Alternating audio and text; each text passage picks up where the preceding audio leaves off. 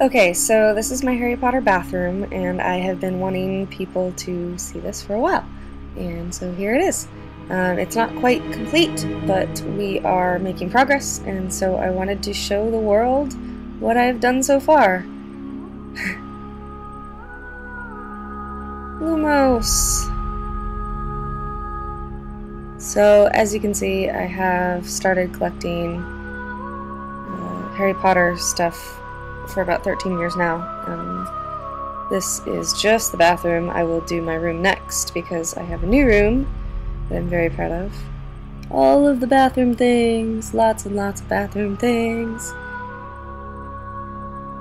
Everything that was made that was officially Harry Potter is in this room. It's it's no um, no Daniel Radcliffe faces. These are all original Harry Potter pieces that represent the franchise before the movies came out. So everything in this room is all of the Hallmark stuff and merchandise that is actually really cool design. I really enjoy all of this stuff. The original, the original, original designs of the characters. I love seeing it all. My other room, no peeking. Saw a few hanging candles there. And I have pretty much every ornament and everything. These are all the original pieces. And my fish. I do have two other fish. Uh, they are on their way. Um, they're in the other room. but they will be in these.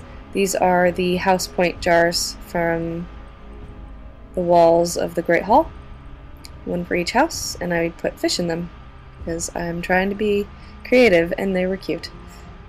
Uh, my cabinet with lots of candles and potion bottles and ornaments. Moaning Myrtle's toilet, of course.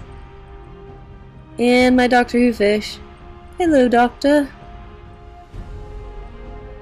The original Ravenclaw banner, blue and bronze course, the shower curtain, and even Hogwarts themed shower curtain hangers. I have a ton of Harry Potter towels, and my Harry Potter handmade robe. Saw the Doctor Who robe too. Original bath things, Harry Potter bath things, of course, and my potion bottles. And when the sun comes in, it's beautiful in the daytime. Creates a lot of beautiful light. And more Harry Potter things. Oh yes, my towels. My towels, one for each house. I have hand towels. They are actually hand sewn. The correct colors. I'm very proud. And the original crests. I love the original crests.